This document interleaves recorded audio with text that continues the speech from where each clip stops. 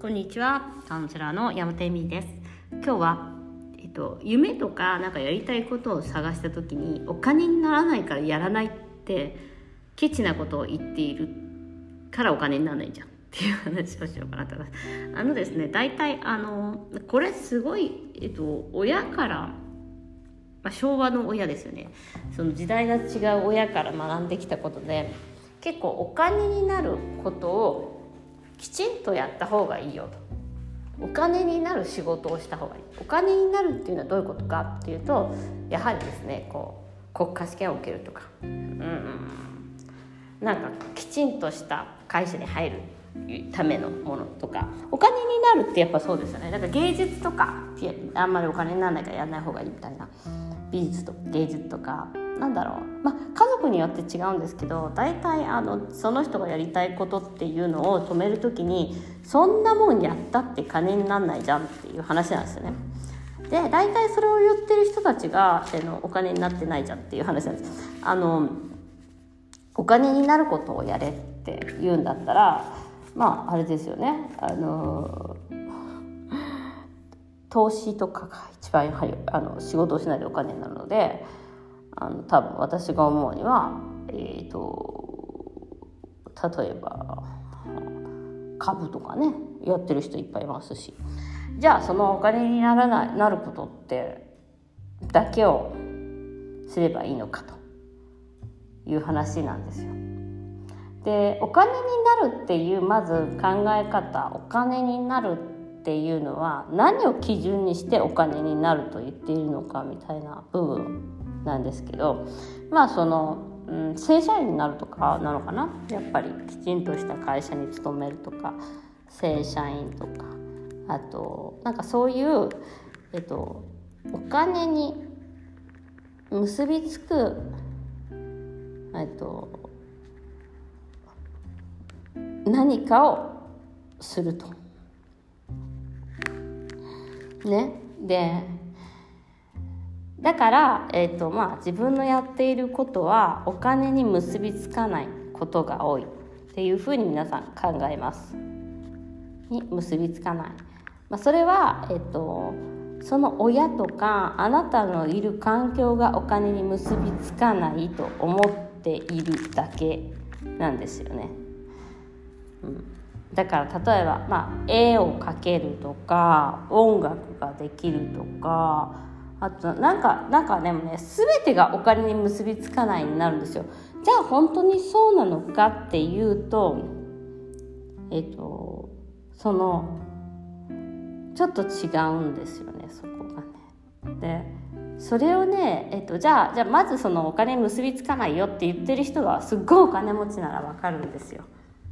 でも実際そのお金 えっとちゃんとお金が稼げてる人ってそういうことは言わないですよね。基本。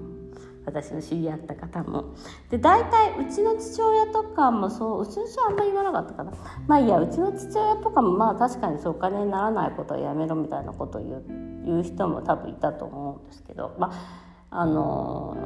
まあそういう親が多いと。でそういう親のやっぱりその時代背景とか、えーとまあ、夢みたいなものがあってまあやっぱり戦後っていうのはねお腹空いてる時代なんですよ。だからお腹空いてる人がお金にその恐怖っていうのがあってその恐怖をねえっ、ー、と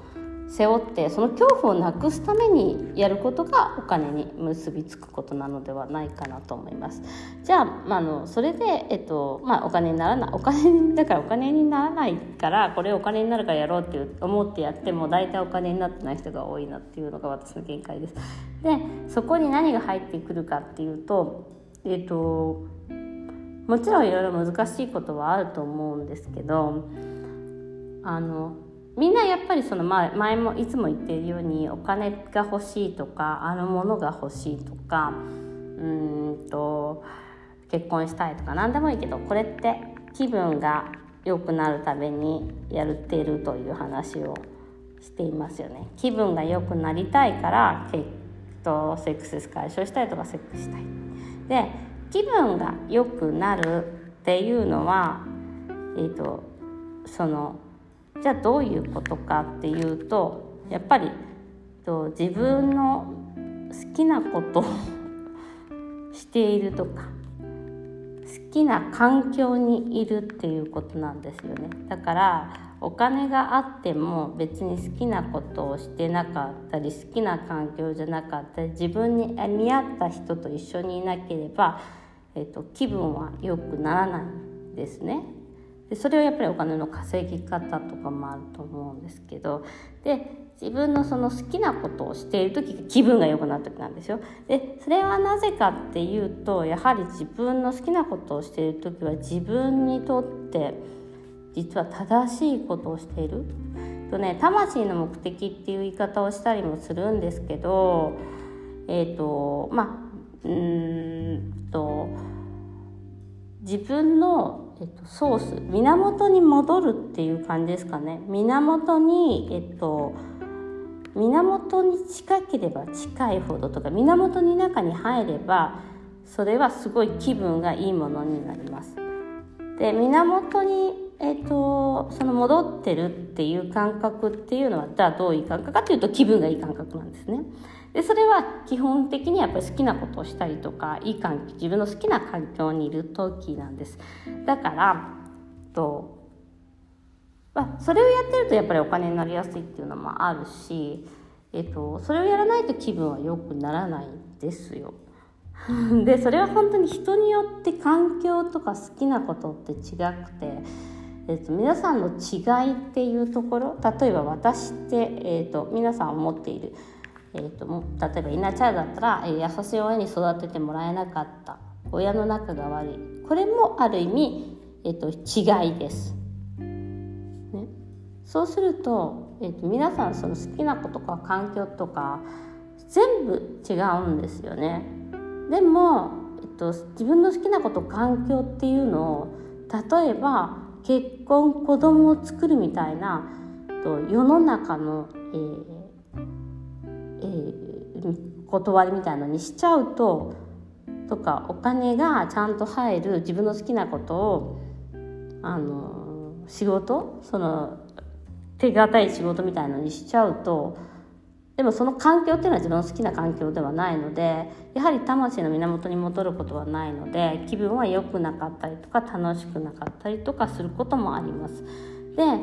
えっと、別にそれがすごい、えっとまあうん、ただ、えっと、多くの人生において、まあ、そのなんとなく好きな仕事そんなに嫌いじゃない仕事でもすごくうまくいっちゃうっていう人はやはりうまくいっちゃうっていうかあのある程度続けていけるっていうことはあのそれは自分にとってやっぱ正しいことだったりとかすることが多いんですね。それはだからあのあの市役所に勤めているからダメとかえっとそういうことではないです。人と違うっていうことちゃんとその会社勤めて毎日行っているっていうことはあなたのとあの魂の目的に近い近いというかその魂の目的源に戻ることがある人もいっぱいいます。ででもそれがうまくいかなくなっちゃう時ってあると思うんですよ。例えばその仕事を干されちゃったりとか急に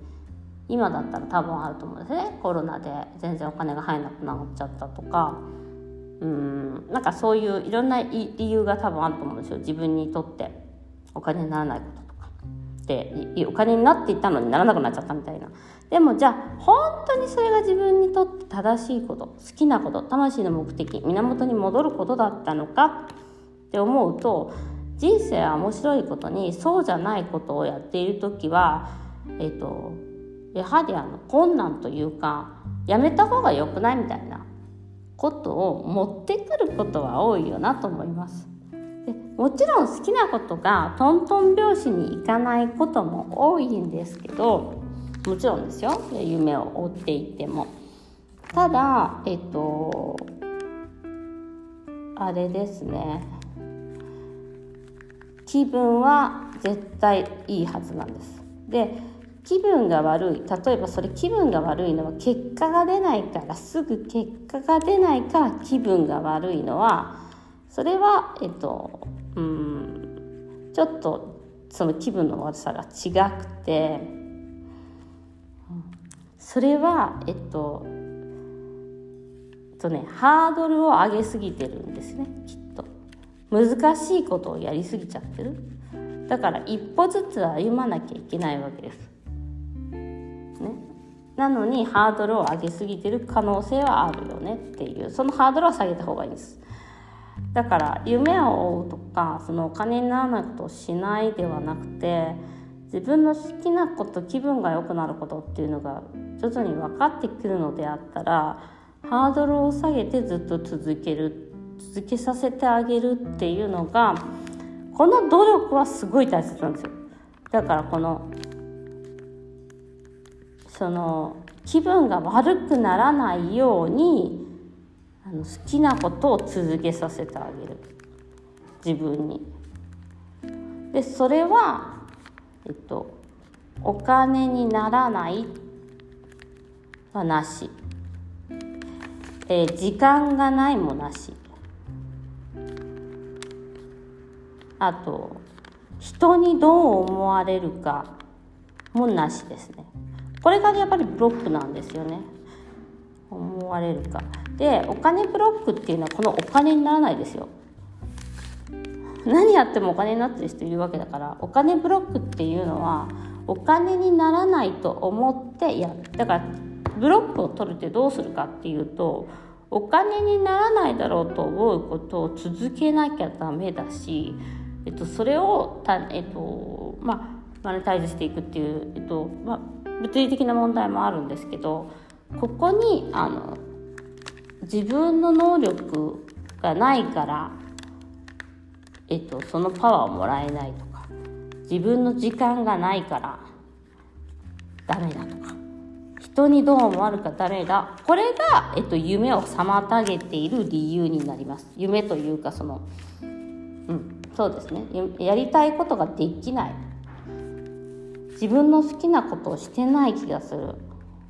自分にとって何が自分って何が好きなのか分かんない自分にとって正しいこととかやりたいこと見えないっていう人は、えっと、このお金にならないしっていうのをまずやめない限りはですねエネルギーは上がっていかないのでそれはお金には結びつかないよねみたいな。ですぐすぐお金ってみんな言うじゃん。なんかお金が人生じゃないって本当に思ってないわけよ。超ケチなの。すごい自分に対して超ケチなのよこれ。すごいそういう意味では一番あのだらしないというかじゃあ本当にお金がないのって言ったら生きていくお金にあるんだったらお金にならないもういらないじゃんっていう話なんですよ。なんか結構ちゃんとみんな働いたりとか旦那さんが働いてくれたりとか貯金があったりとかしてお金にならないことを、うん、やる時間がないのかとかっていうとやはりそこにはインナーチャイルド親に言われてきたとか人のにどう思われるか分かんないとか、うん、そういうのが多くてなんかねすごいケチなんですよそういうところで。ででででもお金は好き。だからあのあの本当に思い込みですこれはお金にならないわでその業界に行けばそれをお金にしてる人いっぱいいるから、ね、やり方はでもね「ハウツーの分に行くとそのやり方はみんな違うんですよ。みんな全員違うの。だからこのやり方でなんか再現性という言い方をするんですけど業界では。再現性があります。できるようになります。それは違うと思いますね。あのもちろんその、うん、型みたいのはあるんでもしかしたらあるのかもしれないけどなんかねあの一番重要なのはお金にならないっていうことを言ってる人は一番結局お金にならないよってことなんです。それはお金。だってほらやっぱそれは潜在意識にあるから。それはお金にならないなって。これがお金になるんだななんです。これがお金になるんだなって思ってほしい。なんかそのやっぱり、えっと、エネルギ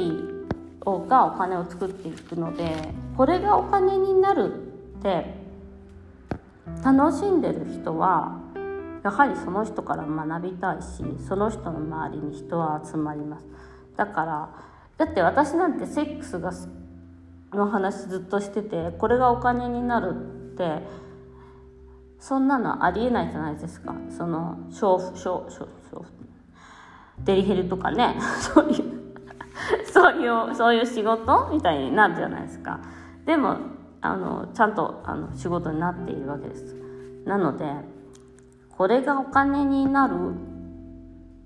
って思った方がいいです。お金にならないことはしないではなくて。そう思った瞬間にすぐあまたやってるなって。でそこにだからねこれお金にならないじゃんって諦めたところにあなたの才能があることが多いかなと思います。うん、だってあのそれが続けているか続けてないかはまた別なんですけど。自分が本当に気持ちよくなることをさせてあげなきゃ気分が良くなることは何か。それなのお金あのそれなのにお金があったら気分が良くなるじゃないんです。気分が良くなってるからお金も入るっていう感じですかね。まあ、なんかその、まあ、エネルギーのことを皆さん分かってきている時代においてはそのやはり気分が良くなるっていうことがお金になるわけでだから好きなことっていうのは環境とか状況とか誰と一緒にいるとかがすごく重要でそれは自分の正しいこと魂の目的源に戻っている瞬間なんだっていうことなんです。で本当にしたいことはこれなので拡大というかみんなが気分が良くなることなのであの必ずこのお金になることをしないはもうね封印です今更ながら。でお金にこれがお金になる。っていうところをねあのじゃなかったら人はあなたに興味がないですよねだってみんなと同じことしてるからそこが魅力です。だからそこがお金になるっていうことをねなんかちょっとねやるとすぐ出てくるんだよね。これお金になんないじゃないですか。なんかそれかまだみたいな。それはお金ブラックですみたいになるんですよ。そう。だからね払うんじゃないんですよ。自分のエネルギーを上げるための、えっと、お金なのエネルギーを上げるための好きなことなのにあのお金にならないからやらない。っていうのは自分に対してかなりケチなことになっちゃうんですよね。だからやはりその好きなことを続けさせてあげるっていうことはすごく大切なことになります。でそれがないから才能がないとか私やりたいことがないとか好きなことがないって思っちゃってる可能性が多いから。っていうか思ってるからね。ということでお金がないからできないお金にならないからできないはあのやめようねっていう話でした。ということで今日もご視聴ありがとうございます。